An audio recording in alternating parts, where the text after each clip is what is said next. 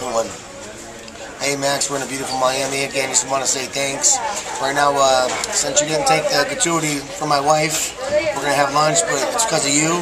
Me and my boys right here want to say thanks. Thanks, buddy. Thanks, Max. Thanks, Max. I love you. No.